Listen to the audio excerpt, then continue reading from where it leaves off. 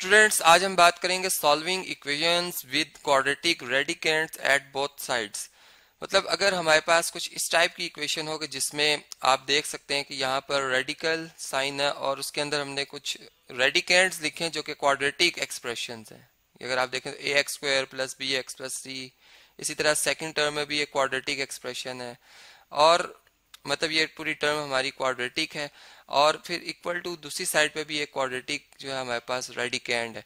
तो अब इस टाइप की इक्वेशन को हम कैसे जो है वो सॉल्व कर सकते हैं या इसको मैं कैसे जो है क्वाड्रेटिक सिंपल क्वाड्रेटिक इक्वेशन की शेप में कन्वर्ट कर सकता हूँ? अब इस बात को हम समझते हैं। तो यहाँ पर चले, हम यूँ करते हैं, एक प्रॉब्लम जो है वो सिलेक्ट करते हैं, कोई क्वेश्चन बनाते हैं, जिस, जो कि इस टाइप से मिलता जुलता हो, जिसमें ए बी सी की जगह कुछ नंबर्स लिखे हों, ठीक है? जैसे चले, मैं कहता हूँ कि हमारे पास जो फ़र्स्ट टर्म आ रही है, वो है three x square minus minus five x plus two, ठीक है जी? और इसी तरह जो हमारे पास सेकंड टर्म है, प्लस तो सिंबल आ रहा है, उसके बाद है जी six x square minus eleven x और प्लस फाइव। और इक्वल टू, यहाँ पे अगर आप देखें तो हमारे पास जो है वो फाइव एक्स स्क्वायर, ठीक है, रेडी कैंड जो है, माइनस नाइन एक्स और प्लस फोर है। अब देखें, सबसे पहले हम इसे जो है फैक्टराइज करेंगे। फैक्टराइजेशन में मिड टर्म ब्रेक आप जानते हैं कि फ़र्स्ट और लास्ट टर्म का जो प्रोडक्ट होता है, वो मिड टर्म में जो टर्म आ रही है, उसको इस तरह से डिवाइड किया जाता है या उस तरह से इसको लिखा जाता है कि इसका सम वापस वही आना चाहिए। और प्रोडक्ट जो फ़र्स्ट और लास्ट टर्म का प्रोडक्ट इक्वल होना चाहिए विद सेम साइन ठीक है जी? तो यहाँ पर मैंने इनकी मिड टर्म ब्रेक्स की हुई है। आपको ये सारे प्रोसेस का पता है। मैं यहाँ पर चूँकि बहुत लेंथी क्वेश्चन है, मैं इसे क्विकली सॉल्व करना चाह रहा हूँ और बेसिकली हमारा यहाँ पे पर्पज़ है कि हम इस इक्वेशन को सिंपल कैसे बनाएँगे? ठीक है जी? मैं असल में ये बताना चाह रहा हूँ आपको। तो यहाँ पर जो जो इसमें मिड टर्म ब्रेक बन रही हैं, वो मैं सिंपल लिखता जा रहा हूँ, ठीक है? आपको रूल बता दिया है, आप इसको समझ जाएँ। अब देखिए, यहाँ से जब हम कॉमन ले लेंगे नंबर्स या चलें, कुछ स्टेप लिख लेते हैं हम यहाँ पर एक्स माइनस वन बच जाएगा यहाँ से। इन दो टर्म में से अगर आप देखें तो माइनस टू कॉमन आ रहा है एक्स माइनस वन आ जाएगा। फिर इसी तरह यहाँ से अगर आप देखें तो हमारे पास सिक्स एक्स कॉमन है फ़र्स्ट टू टर्म में से एक्स माइनस वन यहाँ से हम माइनस फाइव कॉमन लेंगे, यहाँ भी एक्स माइनस वन आ जाएगा, ठीक है? इसी तरह इक्वालिटी का साइन है, इधर हमारे पास फाइव एक्स इन दोनों में कॉमन है एक्स माइनस वन आएगा, और यहाँ से हम plus four sorry minus four common लेंगे माइनस फोर कॉमन लेने से एक्स माइनस वन ही कॉमन आ जाएगा। अब देखें, यहाँ पे अगर आप देखें तो हमारे पास जो है, ये एक्सप्रेशन कुछ तरह से बन जाएगा, यहाँ से हम एक्स माइनस वन कॉमन ले सकते हैं, ठीक है जी? और ये बन जाएगा थ्री एक्स माइनस टू ठीक है? यहाँ से अगर आप देखें तो यहाँ से भी हम x माइनस वन कॉमन ले सकते हैं। और ये बन जाएगा सिक्स एक्स माइनस फाइव ठीक है? जबकि यहाँ से अगर हम देखें तो यहाँ से भी x माइनस वन कॉमन लिया जा सकता है और यहाँ पर आ जाएगा फाइव एक्स माइनस फोर ठीक है? अब देखें, इस टर्म को भी उठा के तो शिफ्ट कर लेते हैं हम। नेक्स्ट स्टेप में हमारे पास जो रिज़ल्ट आएगा मतलब ये जो साइन आपको नज़र आ रहा है माइनस का सॉरी इक्वालिटी की ये इधर टर्म आएगी तो ये माइनस का हो जाएगा और यहाँ पर इक्वालिटी का साइन इधर रह जाएगा, यहाँ पर ज़ीरो रह जाएगा, ठीक है? बात समझ में आ गई होगी आपको? मैं क्विकली और इसको शॉर्टली सॉल्व करना चाह रहा हूँ। अब देखें लॉ ऑफ़ एक्सपोनेंट के मुताबिक अगर आपके पास जो है ए और बी प्रोडक्ट है और इसकी whole power one by two या जो रेडिकल साइन है इसके अंदर अगर तो ए का रेडिकल अलग हो जाएगा। मतलब ए जो है with power one by two अलग हो जाएगा और b power one by two अलग हो जाएगा, ठीक है?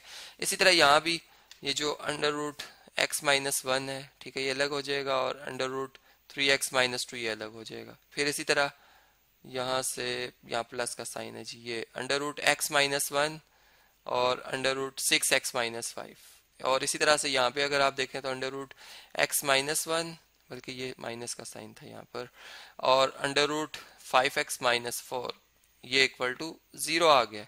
अब आप इन तीनों टर्म में अगर आप देखें तो x माइनस वन जो स्क्वायर रूट के अंदर लिखा हुआ है, ये कॉमन लिखा जा सकता है। मैं इसको ब्लॉक में लिख रहा हूँ, इस तरह से। ब्लॉक बना रहा हूँ। ये आप कॉमन ले सकते हैं, ठीक है? तो आप जब इसको कॉमन ले लेंगे, हमारे पास जो है x माइनस वन तो कॉमन आ जाएगा। यहाँ पे ब्रैकेट आएगी। First term three x minus two ठीक है?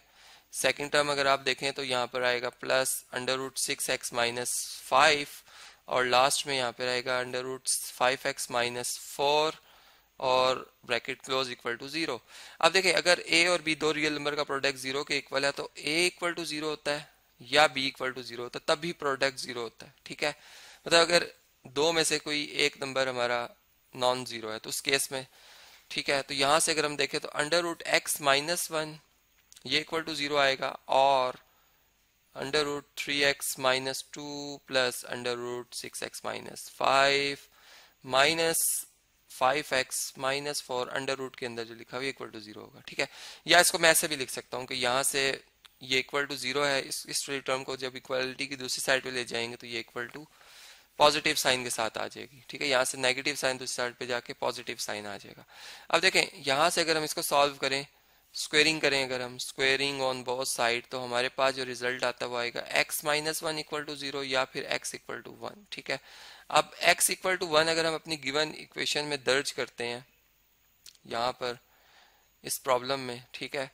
तो हम देखते हैं कि ये इसको सॉल्व कर लेता मतलब यहाँ से अगर आप वन लिखें इसमें तो three one time one sorry three one time three three plus two five five minus five zero यहाँ पे ज़ीरो आया प्लस यहाँ पे अगर आप देखें वन लिखें six plus five eleven minus eleven zero, ठीक है? ज़ीरो का अंडर रूट भी ज़ीरो होता है zero plus zero equal to यहाँ पे ज़ीरो ही आना चाहिए। और यहाँ पे अगर आप देखें, एक्स का वन वन लिखें, वन का square one, five one time five five plus four nine nine minus nine zero.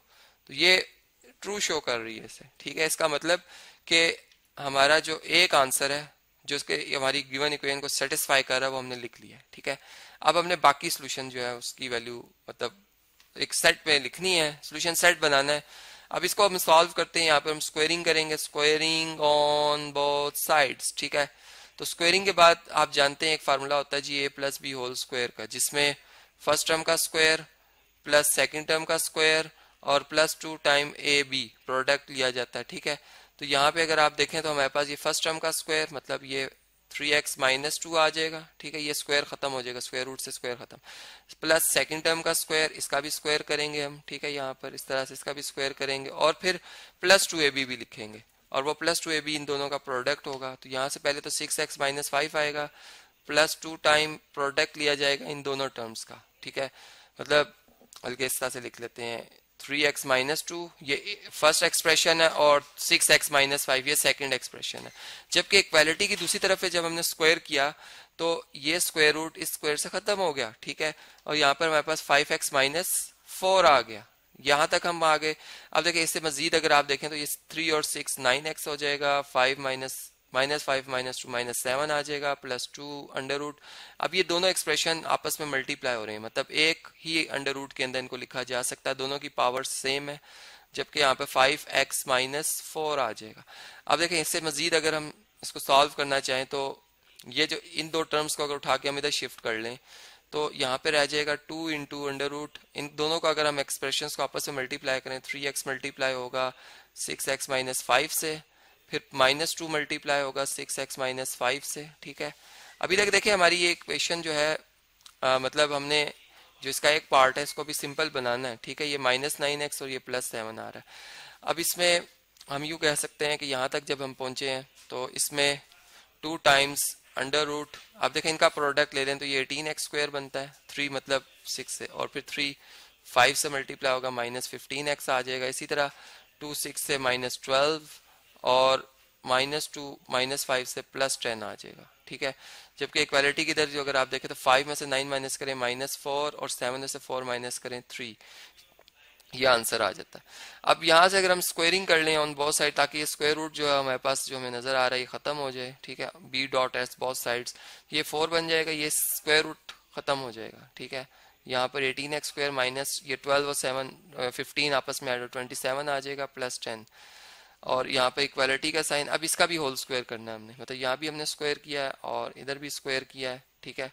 तो ये यहाँ पर फार्मूला फ़र्स्ट टर्म का स्क्वायर जो कि 16 एक्स स्क्वायर है प्लस सेकंड टर्म का स्क्वायर 9 है, और फिर प्रोडक्ट फ़र्स्ट और लास्ट टर्म का टू टाइम्स मतलब इसको मल्टीप्लाई किया जाता है। तो ये बनता है 24 एक्स ठीक है?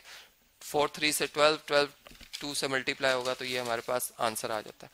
अब देखें इस इक्वेशन को जब मैंने मजीद सॉल्व किया, ठीक है तो मेरे पास जो रिज़ल्ट आया वो आया 56 सिक्स एक्स स्क्वायर ठीक है माइनस एटी फोर एक्स और plus thirty one equal to zero इसको आपने सॉल्व करके यही आंसर आएगा। और इस पर जब क्वाड्रेटिक एक्सप्रेशन लगाया तो मेरे पास जो इसके रूट्स आए, वो आया twenty one plus minus under root seven over twenty eight जो कि ये दोनों वैल्यूज़ ही हमारी गिवन इक्वेशन को सेटिस्फाई नहीं कर, इसलिए ये एक्सट्रेनियस रूट होंगे।